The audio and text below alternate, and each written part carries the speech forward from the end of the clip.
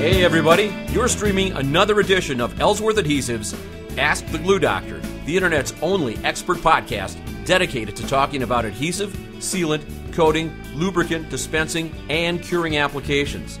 We're coming to you from our home offices in beautiful Germantown, Wisconsin. And on behalf of everyone here at Ellsworth in Germantown and our offices around the world, I just want to thank you for taking the time to download today's podcast. I'm your host, Lance Brown. Today, our topic is structural adhesives, and we're going to be talking to Michael Verdi. Michael is a senior technical representative from the Lord Corporation. This is a great topic, so let's get started. But before we do, Michael, I just want to thank you and the folks at the Lord Corporation for helping to make today's podcast possible. Thanks for having me today, Lance. Looking forward to our conversation. Back at you, Michael. All right, let's uh, start here with the first question. Let's just define what a structural adhesive is. A structural adhesive essentially is a two part chemical system that, once mixed together, has the capability of bearing heavy loads as well as providing a very high strength and stiffness values. They are often utilized to replace conventional joining methods such as rivets, screws, and even welding without reducing the structural integrity of an assembly. There are three main chemistries involved, the first being epoxy, then we have urethane family, and then we have the acrylics. It is the actual application itself that will dictate to us which of these three chemistries is to be chosen. Michael, can you describe the type of chemistry that is available for use as a structural adhesive when looking to bond metal substrates? Sure. For bare metal substrates, Lord actually recommends an acrylic adhesive. This is often referred to as a methyl methacrylate based system. And what happens here is during the cure cycle, the chemical, the chemistry itself actually will etch the metal surface, providing a real secure, strong molecular bond on the surface itself. And the fact is, Lord has recently developed a new line of adhesives called Maxlok, and these adhesives are categorized as MX T3, T6, and T18. They are available actually in many different forms, ranging from small cartridge, 50 mil cartridges, up to large 55 gallon drums or totes for meter mix dispensing equipment on, on high volumes.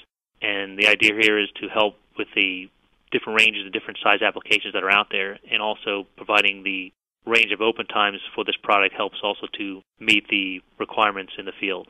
Michael, can you tell me what are some of the properties associated with metal bonding structural adhesives? Most metal bonding adhesives tend to have very good high strength and are chemically stable up to 250 degrees Fahrenheit. We've also found some instances where they'll actually go up to withstand up to 400 degrees Fahrenheit. They themselves tend to be impervious to different kinds of harsh chemical exposures, whether it be gasoline or any type of acids. These adhesives are easily dispensed, and implementing a metal bonding adhesive into a customer's process is often a drop-in type scenario.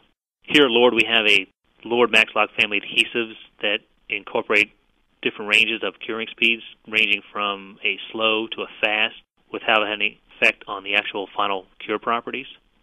This again allows for the, the customer to utilize just one adhesive to fit several different applications. The the Maxlok adhesives were developed to cure room temperature, but if it's if needed to expedite the process or increase throughput, you could add heat to the process. That'll actually help to speed up the cure, and again, that ranges from five to six minutes up to 30, 40 minutes, and again, could be depending on the heat and the time that it's provided, it actually could speed that up pretty rapidly. Can you tell me what strength values can be achieved when applying a structural adhesive to a metal substrate? These will actually vary depending on the substrate, and that is actually why Lord evaluates the most commonly utilized metals such as aluminum and hot dip galvanized as well as electro galvanized metals, and we will test these in both shear and peel failure modes. If we use Maxlok as a good example, we have actually observed strains at different at room temperature as well as different environmental conditions, whether it be salt spray exposure, humidity, or high heat such as 180 degrees Fahrenheit, and also in cold temperatures like minus 40 degrees Fahrenheit. And typically for Maxlok, the T3, the T6, and the T18, the shear values tend to fall between 2,000 to 3,500 pounds per square inch or psi, whereas in peel, values will range from between 40 to 50 pounds per linear inch, which is also referred to as PLI. This is the same regardless of the environment and or the metal substrate that's actually being tested. The goal with the development of Maxlok was simply to provide a single adhesive for bonding multiple substrates for use in many different stringent environments.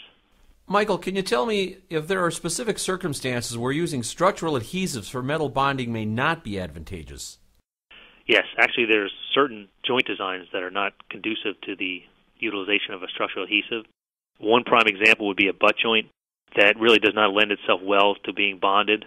In fact, when we when we talk with our customers, we actually recommend that they design joints that will see either shear or compressive type loading, while really trying to to avoid or attempt to avoid any type of peel and or high tensile loading. We had some instances though actually where a customer will utilize strategically placed welds or, or mechanical fasteners in areas to avoid peel and tensile load while using our adhesive throughout, throughout the remaining part of the bonded area. In addition, there's also some certain metals such as nickel, chrome, and stainless certain stainless steel alloys that are inherently difficult to bond without any type of surface modification being performed first.